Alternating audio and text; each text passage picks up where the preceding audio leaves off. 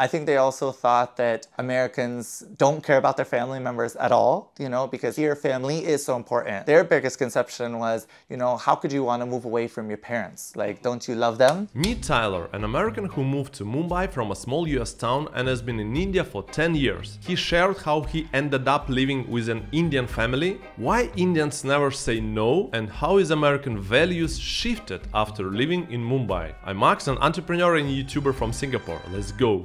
Do you remember your first impressions when you first come to Mumbai? I remember thinking, where did I get myself into? Because it was completely different from where I'm from, from a small town in the States, around 1,200 people. And I remember the first thing thinking was that the amount of people I saw on the streets right away was the amount of people that live in my town. I was scared. I remember, in fact, buying a book that yeah. was uh, it was called Culture Shock and reading it and I think that that actually scared me more than once I got here and I realized that actually it's a very manageable country, manageable city. It opened my eyes to a lot of different things. What was the most shocking part? Probably the traffic. Getting from point A to point B because I'm sure as you've seen that walking here is quite the challenge because there's sidewalks but they're not very used that often and you have to really be careful where you're going because you could have vehicles coming at you. You have kids playing cricket on the streets. You have barbers set up. You have vegetable markets. And then all of that can happen. And then traffic stops because a cow can walk by. So there's a lot happening. So you're constantly on gear. Was the traffic worse or better 10 years ago? I say it's about the same. I think right now it's particularly bad because there's a lot of construction happening in the ah. city. So that's delaying a lot of things. But uh, for me, I think that the traffic's been the same since I've arrived. I guess there's a big difference in mentality of Americans from the place where you're from and Indians? What's the like biggest difference how people think? I would say a small one, but I notice a lot is when you go around here, sometimes people are afraid to say what they actually mean. And mm. so that can slow things down. So if you go somewhere and if you go to a restaurant or if you go to a store and if they can't provide a service with you, sometimes rather than being a little bit more direct, mm. they're going to maybe say they can do something and actually they can't. So they're trying to way to get away or to circumlocate the mm. issue. If I say yes, how, how I say yes? Yes. Okay, this yes. How is like I'm not sure. I'm sure. so with the face, yeah. same gesture. Same gesture, but with but the with eye, the... With, with a little bit with the face. No. No would be no.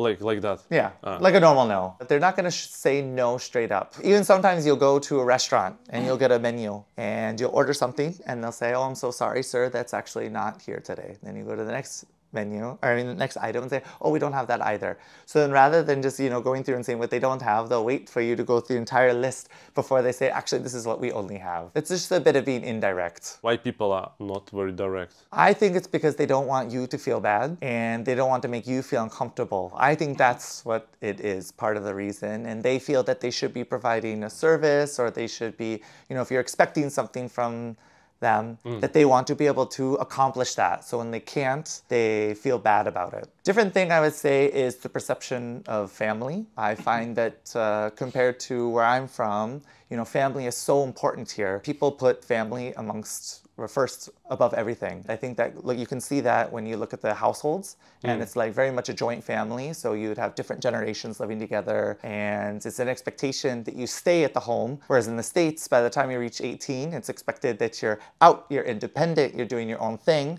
Yeah. Whereas here, you want to be dependent of your family members and you want to stick together and help each other out. So mm. that's a big difference I've seen as well. Which one you prefer personally? Now I prefer the Indian style, and I like being dependent on others. I like that feeling of a whole family together, helping each other out. I know at first when I came, you know, it was my first time getting a job, it was my first time living by myself. I thought that was going to be a great experience. But then I found out, you know, after about a year or so that uh, it's not easy to live by yourself. I have quite a unique story because I met a really good friend and he could see that maybe I wasn't meant to be staying by myself, so he actually invited me to come live with his family. So oh, wow. I lived with the Indian family for about seven years oh, and wow. really formed a super close relationship. And to this day, they consider me their family. I finally felt that, okay, I think I'm ready to get my own place. So I found my own apartment, but it's right below the family's. So mm. I still have dinner with them every night. I celebrate wow. with them. We travel together. It's really impacted mm. how I view and how I see India. Wow, that's so unique. Yeah. When you stayed with the family, how many people were there? I think at one point we were five of us living in a two bedroom apartment. so we were very close knit Yeah. together. One of the family members got married, so she moved away, so there was less of us, but yeah, quite a big, big family. What was the attitude towards you as an American from this Indian family in the beginning? In the beginning, I would think at first they were a bit skeptical as to what I was doing here because they had these big ideas of what it meant to be from the States and they just couldn't wrap their head around that I was choosing to live here because if they were given an opportunity, they would do the opposite. But then they realized how much I love the country, how much I liked it here, how much I meant to be here. So that started to change. One thing that changed was we started to understand how each other think because at first, even though language wasn't an issue, uh, we'd speak to each other in English. Sometimes we didn't understand what each other meant just because of some of the culture differences or um, the way we viewed things was so different. So that we that we got to learn from each other very quickly. Any example of this like miscommunication? For example, celebrating a birthday here is a custom that when you cut the cake, whoever's birthday it is goes around and feeds everyone, you know, a little bit of piece of cake. But I didn't have that growing up, so and in the US it would be you would cut the cake and then you'd serve it, you know, on a plate. Yeah. But here, you actually take it in your hand and serve in everyone's mouths. Ah, in the mouth. Okay. Yeah, and like Okay. they directly Okay. serve you. Okay. And then they take that same piece and then they feed the person next to them. Ah. So at first, I didn't know what was going on. I thought, okay, what's happening here? But it was just part of the birthday celebration. Did they have any like misconception about America uh, or Americans? I think that they thought that you know we that that was a dream for most people is to go to the states and why would you want to leave when in reality that's not the truth. I think they also thought that Americans don't care about their family members at all, you know, because here like I said earlier, here family is so important. Their biggest conception was, you know, how could you want to move away from your parents? Like don't you love them? By you leaving, doesn't that show that you don't care for them because now they have to look after themselves, especially as they're growing older. And so I constantly have to remind them that I still love my parents and me moving away has nothing to say of our relationship, but it's just a different family dynamic. So you grew up in this small town in Iowa. Mm-hmm. What's the biggest differences of lifestyle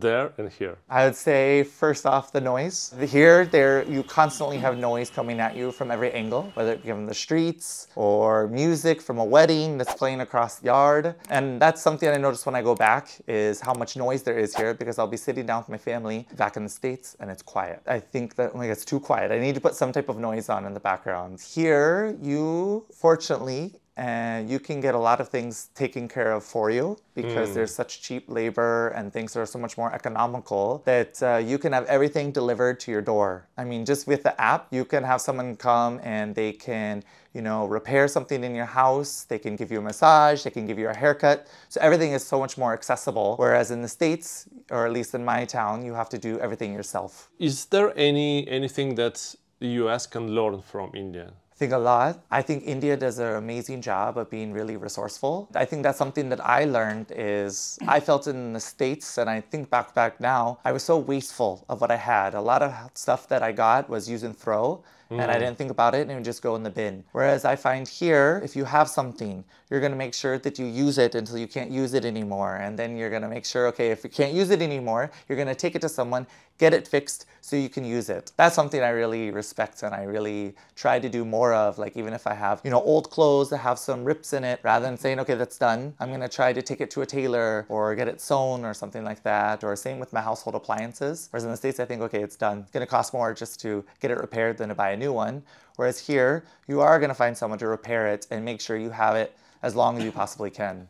How Mumbaikars are different from, let's say, people from Delhi? I don't have that much experience in Delhi, but uh, the times that I've been there, you have to be a little bit more on guard because when people see you there, they see you more as a tourist.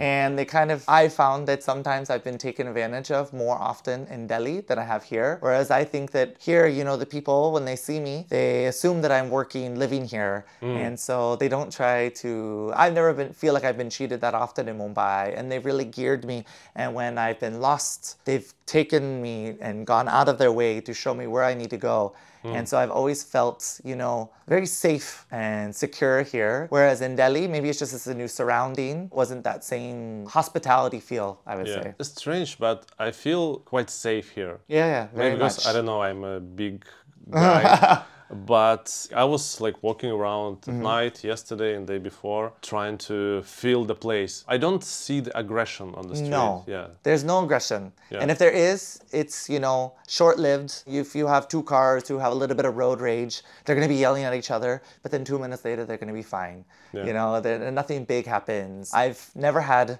touch wood, I've never had anything bad happen to me here because Mm. it is a very safe place. Traveling alone, late at night. And I've had a lot of really good experiences where actually you can see the kindness in people. So sometimes, you know, when you're riding a rickshaw, you might forget something.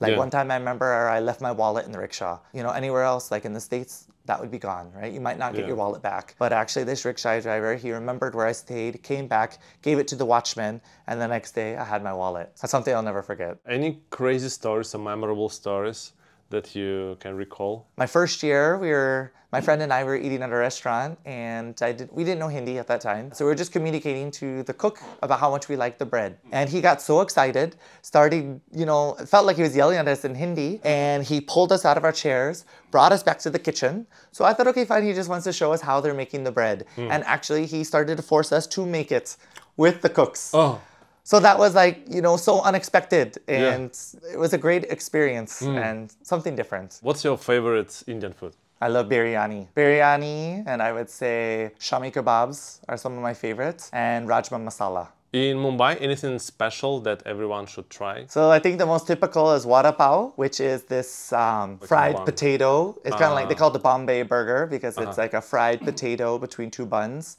That's a must, and I think pani puri.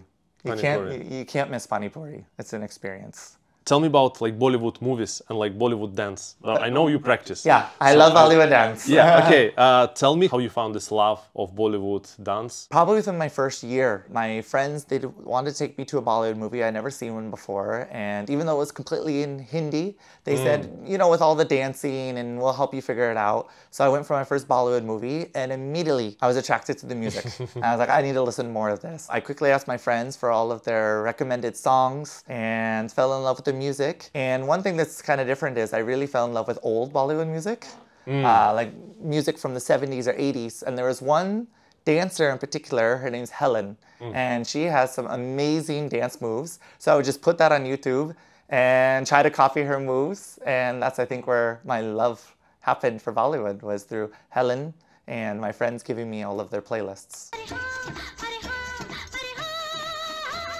One thing I love about Bollywood music is if you notice, if you go out with your friends and there's some Bollywood music happening, everyone knows the moves and they're always the same moves. So after two, three years of being here, you quickly learn, okay, this song's on, what's going to be the hit move, and hmm. everyone does it together. Why people are so into Bollywood in general? I think it's just it's part of the life here. I mean, if you look at the major actors, you know, there's like I would say compared to the states, there are less big actors. There are less big ones, but they are featured in everything. You know, you're gonna have Shah Rukh Khan, and he's gonna come out with two, three movies in a year. Where in the states, you might have one actor, and that one actor is gonna come out with a movie every other year, for example. Everyone wants to go see the latest movie. It becomes quite the event, and I would say watching movies in the theater is more popular than at home. I know that you speak Hindi. You would say your Hindi level is advanced or like I'd say Almost- intermediate. almost. Yeah, intermediate. I can get by. I can defend myself when I'm on the streets. Uh, what I heard is you can survive without